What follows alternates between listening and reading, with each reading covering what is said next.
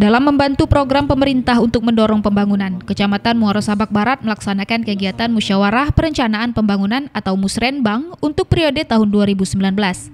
Bertempat di Balai Pertemuan Kantor Camat Muara Sabak Barat, kegiatan tersebut mengangkat tema mendorong pertumbuhan berkualitas melalui pemerataan pembangunan untuk mewujudkan kesejahteraan masyarakat di Kabupaten Tanjung Jabung Timur. Kegiatan tersebut dihadiri oleh staf ahli bidang ekonomi pembangunan Pemkap Tanjung Jabung Timur yang mewakili Bupati anggota DPRD, Kepala Bapeda, Kapolsek Sabak Barat, dan Ramil, para kades dan lurah serta masyarakat sekitar. Camat Muara Sabak Barat Ari Julian Saputra mengatakan, Musrenbang Kecamatan Muara Sabak Barat dilaksanakan agar setiap usulan yang diusulkan tepat pada sasarannya dan sinkron dengan visi misi merakyat Romi Haryanto dan Wakil Bupati Robi Nahliansah.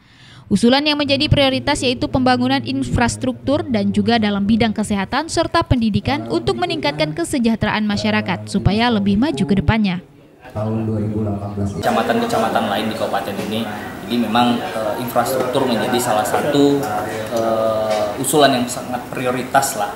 Cuman ada berbagai usulan juga yang mungkin e, pengembangan sumber daya manusianya kami tidak lupa itu karena memang selain untuk e, mereka-mereka yang bakal dapat itu uh, kita juga menjadi salah satu destinasi yang memang masyarakatnya itu harus memiliki pola pikir yang luas. Itu yang pertama. Yang kedua memang kita sebagai ibu kota kabupaten Kota Barat menjadi ibu kota kabupaten memang uh, masyarakatnya juga harus mindsetnya dari Jambi Hendrianus Tribrata TV salam Tribrata kami juga mengajukan untuk